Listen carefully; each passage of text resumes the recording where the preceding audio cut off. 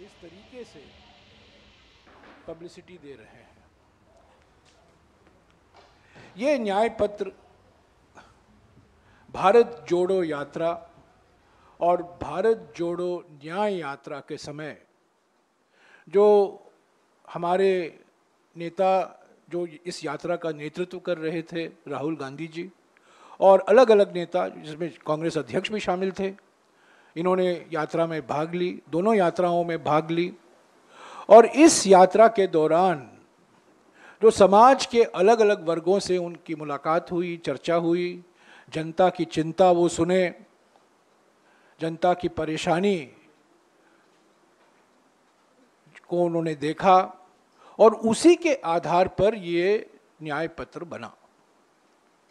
क्योंकि बिल्कुल साफ़ हो गया था कि पिछले दस साल में जो प्रधानमंत्री की नीयत है और प्रधानमंत्री की नीतियाँ हैं, उससे बेरोजगारी बढ़ी है, महँगाई पर कोई काबू नहीं ला पाए हैं और आर्थिक विषमताएँ हमारे समाज में पिछले सौ सालों में इतना उस स्तर पर पहुँचा है जो पिछले सौ सालों में देखा नहीं गया। और यही तो हमारे मुद्दे हैं।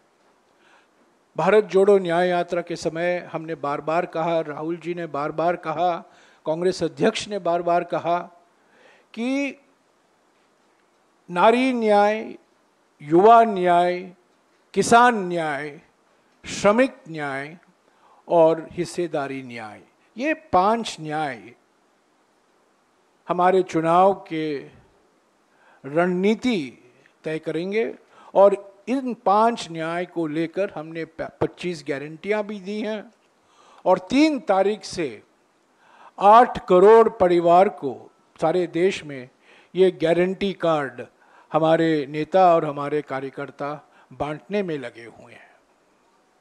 तो ये हमारा एक सकारात्मक एजेंडा था और है और रहेगा। क्योंकि हम जनता के मुद्दों पर ये चुनाव लड़ना चाहते हैं।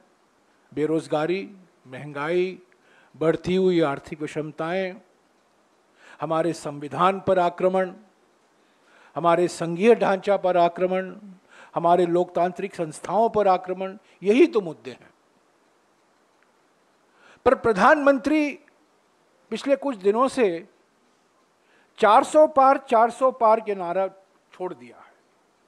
और अपनी छप्पन इंच की छाती को मोदी की गारंटी, मोदी की गारंटी बोलने भी छोड़ दिया है। और इतने भौकलाए गए हैं, इतने परेशानी में हैं, इतने पीड़ित हैं कि वो अभी नए भाषा का इस्तेमाल कर रहे हैं। ध्रुवीकरण हमेशा उनका हथियार रहा है।